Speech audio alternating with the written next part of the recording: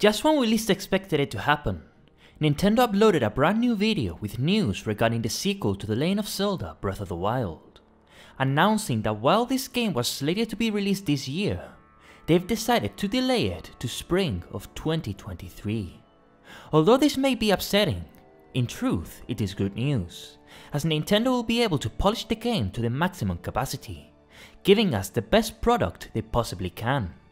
In the words of Miyamoto, a delayed game is eventually good, but a rushed game is forever bad. However, within this small announcement video, we've received new footage from the game, which gives us a huge hint on what the story will be about.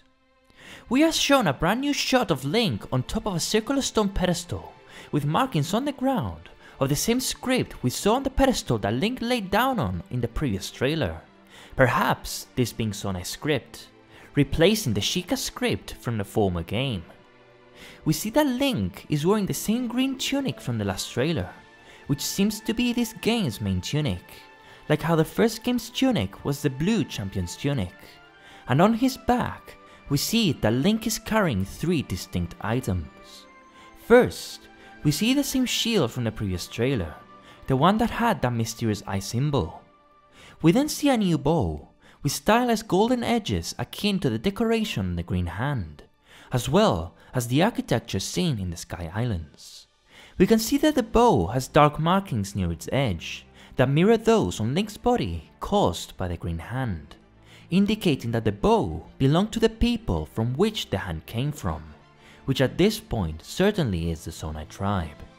But most importantly, we see the Master Sword glowing in ethereal blue light, and as Lincoln unsheaths the blade of Evil's Bane, we see the horrid state it is in, shattered, rusted and decayed, in a far worse state than the rusted Master Sword we saw in the first Breath of the Wild. The damage inflicted in that game also having been caused by Malice, the difference being that in this game, Ganon launches a full-on attack on the blade with tendrils of Malice, leaving it in that state of disrepair. As Link turns towards the camera, we see a closer look at his corrupted hand, which has a glowing yellow symbol on it. This is perhaps a symbol of one of the many abilities that Link may obtain in the game, those replacing the Sheikah runes, and judging by its yellow color, it might be the time reversing power from the second trailer. If we look in front of Link, we see a bright orb of golden light at the center of the platform, which we can barely see is on one of the floating islands. And as the hero of the wild unsheaths his rotten blade and brings it closer to the glowing orb of energy, his hand begins to shine brighter and brighter, reacting to its ethereal light. I have no doubt in my mind that this orb of glowing energy is Force, a divine power that is ever present in the series. This sacred power, also known as a golden light, resides in every living being, and it is the power that flows within the Master Sword, the Force Sword, the Lokomo Sword, and the Phantom Sword, as well as the light arrows, being the source of power which gives these sacred weapons the ability to repel evil.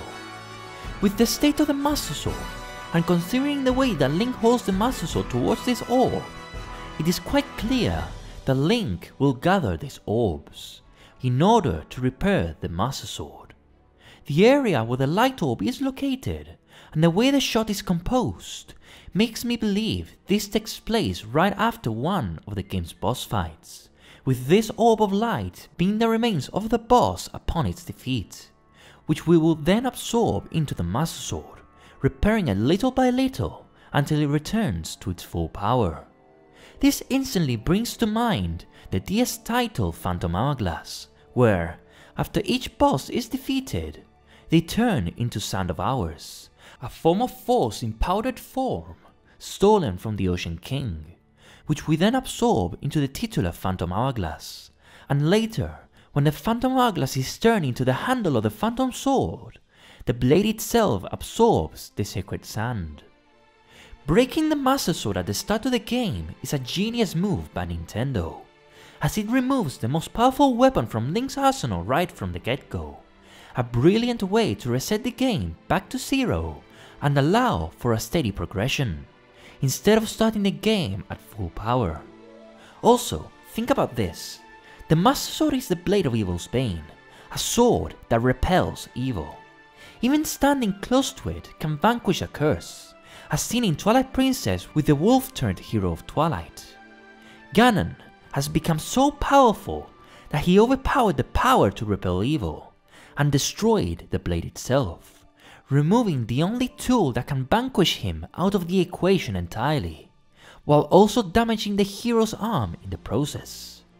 It really seems Nintendo is going all out with this game, and I can't even begin to describe how excited I am to see what this game has to offer on spring of 2023. What about you? Are you excited for this game? What do you think of this new footage and the game's delay? Let me know in the comments below.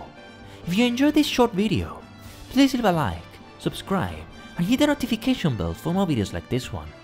I have a huge video in the works, so make sure to stay tuned for whenever that video releases. This has been Sololo, and I'll see you in the next video. Bye.